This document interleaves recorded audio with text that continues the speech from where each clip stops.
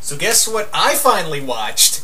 That's right, I finally binge watched Stranger Things, the new Netflix original series that everyone's been talking about. Yep, I finally sat down and just binge watched it. It also helped that it was only eight, eight episodes long, so it wasn't too long of a, of a chore, really. It wasn't that long of a, you know, marathon, and I could easily do it. Rather than, you know, with Daredevil, was like a straight, you know, Daredevil and Jessica Jones, where it's like 13 episodes, so it's like you really have to dedicate yourself to 13 hours of just straight up Daredevil. so, yeah, that was kind of the thing. Is that yeah, eight, I could I could spare eight hours of my life to you know total binge watch this show. And let me say that this, like, I was kind of worried about this because everyone was saying, "Oh, you got to watch um, Stranger Things. You got to watch Stranger Things." Here's the thing. Here's the thing. When you um, when you basically here's something I, I just don't really care much for. When someone says you got to do this, you got to do this, and everyone starts saying you got to do this, you got to do this, it makes me not want to do this. So when everyone was saying, "Hey, go watch Stranger Things," I was borderline gonna go, "No," because then it's gonna feel like a chore, and I don't want to do that. I really don't want to feel like it's a chore, and I really don't want to do that. but nope, I sat down, I watched it, and I enjoyed it. um, this was a lot of fun. Um, I think, yeah, the the show is set. For those who don't know, who are unaware, and I am going to keep spoilers out of this. I might do minor spoilers at best for this. Yeah, I might just do minor spoilers at best, but I don't want to because this show is still relatively new. It's only been out what a mo- less than a month. So, for those who have not watched it, I am going to be, you know, I am only going to do minor spoilers. I don't want to spoil anything major. So, the series is set in 1983, and it centers around the disappearance of a boy named Will uh, Will Breyer. Yeah, Will Bry- Will Briers, who his um, the town basically, you know, his mother's convinced that he's still out there. His friends are convinced they're still out there, and they've encountered a young girl who has psychic powers, uh, and it leads to a whole big conspiracy. Um, this big conspiracy involving alternate universes and monsters. Seriously, if you have like a, if you're still feeling withdrawals from Gravity Falls ending, and you didn't, and and Dead of Summer did jack shit for you like it did me, I'm sorry. I just God, oh God, Dead of Summer. Oh, I just don't give. I, I just do not give a single shit about that show. Oh man, if you, if anyone out there watching Dead of Summer enjoys the show, if anyone enjoys Dead of Summer, um, that's totally fine. I just did not care for like the first like. First off, it shouldn't take a, a series to take five episodes in a ten episode. What was it? This half of the season, just go. Oh, something's really wrong here. Something's really strange. Yeah, it shouldn't take five episodes for make everyone uh, to actually have the show finally pick up and get going. Anyway, I'm ranting. Um, but yeah, Dead of Summer was just not for me, and I thought that it could, even with Tony Todd in that show, it couldn't help. Anyway, um, sorry, I'm sorry. I, I, I, again, if you enjoy Dead of Summer, that's totally fine. No ill will against you. I just did not care for it at all. Just in no way did I care for it. Um, so yeah, the series does follow around this big conspiracy. And like I said, if you have like your, if you're still having like withdrawals from Gravity Falls, Stranger Things is definitely going to have that is going to give you that fix. It's going to give you that you know big mystery kind of fix. It's it's definitely going to give you that. Um, also, I really dig. Um, here's some Stranger Things fan art, which again I found on the internet, and I can't find the um, the artist for this, which I wish I could give credit for again because this is great. This is if you really enjoy 80s shows, and it's really hard to do an 80s show because here's something that Stranger Things does better than than Dead of Summer once again. It actually feels like an 80s show rather than being like, oh, it's the 80s. That's what we all looked like. That's what we all dressed like. It's in the 80s, but it's not, you know, it just feels like rather than be like, oh, we're, it's a big 80s thing, it actually feels like, yeah, this is just the time period it's set in. Whereas the other show, the uh, Dead of Summer is in 1989. This is 1983, so early 80s. I get, yeah, Return of the Jedi is probably so yeah, that's Return of the Jedi's probably come out by this point, or about to come out at this point. Uh, this is how I, I, I date the this is how I date the '80s people um, by how much Star Wars had come out by that time. Um, anyway, So the two biggest actors for me, the children actors. Let me talk about the children actors real quick. The children actors were all really good. Um, they were all really fantastic. They all had some, you know, they had some great lines, and you know, this is it. Really takes place. It really does feel like I'm watching a sequel, a TV series of the Goonies at some point. It does feel like you know the best way to describe Stranger Things is if Gravity Falls and the Goonies had a baby. That's the best way to to kind of describe it, I guess. If you know, if I could, Gravity Falls meets the Goonies. That's the best way to describe um, Stranger Things, I guess. Um, anyway, so the show, um, the the young actors in here are all really great. Um, they all have some great chemistry, and the thing is, like, you really have, you know, when child actors are involved, you really have to sell it. And trust me, these kids sell it. Um, they just go through so many ranges of emotion. Um, but Winona Ryder in here, Why Winona Ryder, oh my God, she kills it as the desperate mother. You really feel that sense of urgent of urgentness. Is that even a word? I don't think so. That sense of urgency. There's the word. I made up a word. Me not so smart. Um, oh, it's been an off day. You can tell. Um, that sense of urge, you know, that sense of urgency and you know the need to find that one's, you know, find one's child. You, she really gives off this great performance throughout the entire season. She's just hands down amazing. And I actually thought I didn't. If you didn't tell me that was Winona Ryder, I'd have thought that was someone else. I didn't realize. I know, you know, I know the years, um, you know, age does, you know, age changes us. I'm aware of that.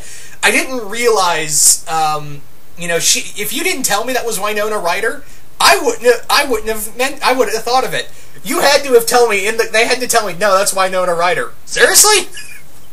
I mean, yeah, she really made herself look like an average mom. And we, whenever you think Winona Ryder, for me, it's usually, of course, Beetlejuice or um, the character she played in. Oh yeah, Mina Harker in, in Francis Ford Coppola's Dracula adaptation. So that's usually when I think that. I, yeah, that's when I usually think Winona Ryder. I think that, but now I'm thinking this as well. Another great performance in here is David Harbour, who plays Officer Jim Hopper. Who he really, I, I heard a rumor that this that this role was supposed to go to Clancy Brown. Originally, I heard this weird rumor, and I don't know how much of it is true or not. But I heard like it was originally supposed to go to Clancy Brown, but um, he either turned down the role or he was too busy for it. I don't know which, but yeah, Dan Harbour, who I'd seen a, a, few movies, I can't name him, but he plays a dick in every movie, and I thought he was going to play a dick in this show. He starts out as a dick, but he, then he turns out to be a total badass. Like, there are scenes in here where I'm like, man, this guy, uh, like, I would not mind if he play, like, there's some moments I feels like it's straight out of, like, Max Payne with him. Like, seriously. I was like, did you just play Max Payne just to play Because there are some moments in here I was like, huh, Look at that. that was like straight out. I don't know why I'm referencing Max Payne, but it just felt like he he was referencing that character. If that makes any sense at all. But no, Dan Harbour was just amazing in here. Him and Winona Ryder have great chemistry, and the whole plot you you clearly see that they're um, you know going on the edge of uh, total insanity here, and you see that kind of, you know that level of madness slowly just kind of consume them. But at the same time, they know they're right, and they know they're. It, it sounds crazy, and yeah. So let's talk about the monster real quick. The monster is um, this faceless entity that comes from an alternate universe. And I like what they do with alternate universes of the whole, you know, calling it the upside down and having it like a positive negative kind of thing.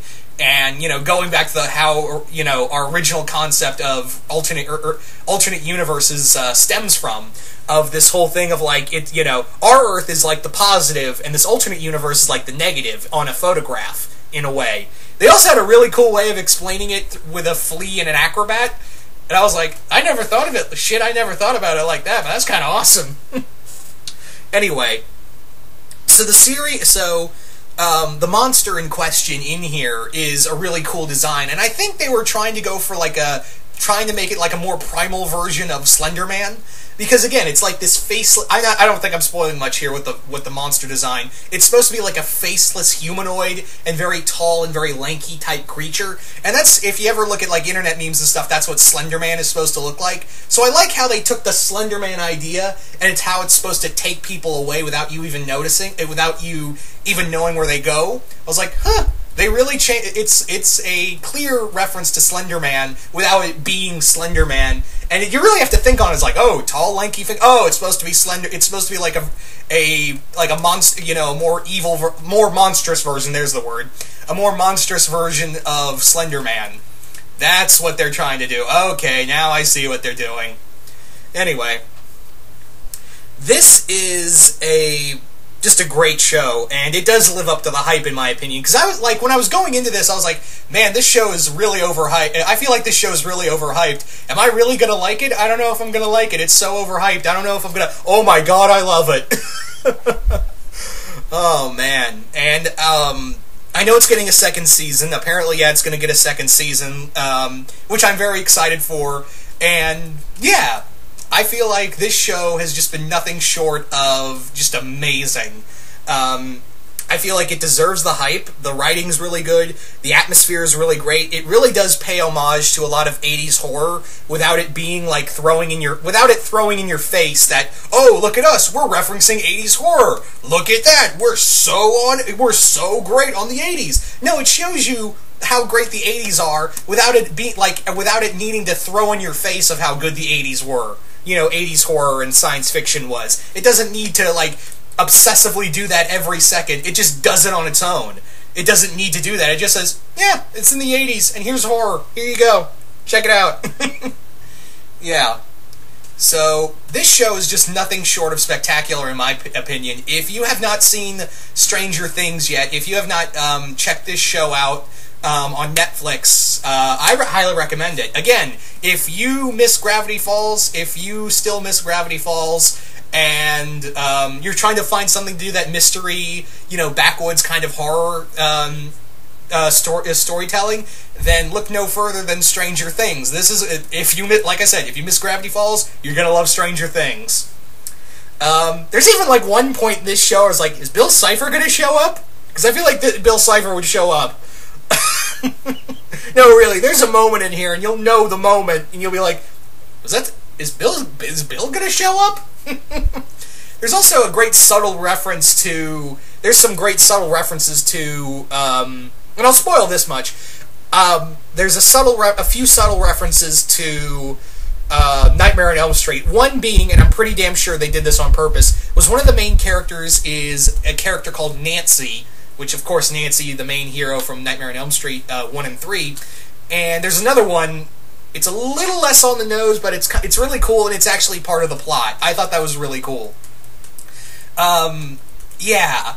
Um, Michael Morden's also in the show. I forgot to talk about him. He plays such a bastard. But then again, he he kind of plays the asshole scientist in a lot of these TV shows. I I expect nothing less from this guy. Um, this show man, I just can't. Um, I just can't stop talking about it because of just how, just how great this is. Um, the the the show was created by the Duffer Brothers, who had done um, apparently two other things called. Um, they had written a movie called Wayward Pines. Not. Uh, oh, I guess. Oh yeah, Wayward Pines. That's a Fox TV show. Now I remember.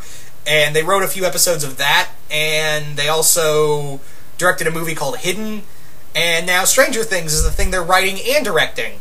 So, yeah, go them. If we ever, you know, I'd love to see these guys branch out and do more horror stuff. You know, with, um, you know, horror being a big thing coming back to TV. Um, you know, with obviously uh, Scream and, you know, a lot of talks of um, CW doing, night, uh, you know, Friday the 13th as a TV show. Um, you know, we've had American Horror Story, Dead of Summer. Again, if you enjoy Dead of Summer, that's totally fine. I just, ah, man, I gave it to, you know, I, God, I just did not care. If you like it, that's totally fine. I'm not going to bash you for it. Um, more power to you. Me personally, man, I just did not care. Anyway, but Stranger Things made it all better. Anyway, so yeah, if you guys have seen Stranger Things, just comment below. Let me know what you guys thought of it. Also, can we refrain from spoilers? Uh, I don't. Again, I wanted to refrain from spoiling anything in this show. So can we all be just cool here and not spoil anything the, from the show? Uh, don't mean to be mean or anything. I just don't want to ruin it for anyone who hasn't seen the show yet. Anyway, once again, just comment below, let me know what you guys thought of Stranger Things, and once again, hope you all enjoyed this review, and I will see you guys later.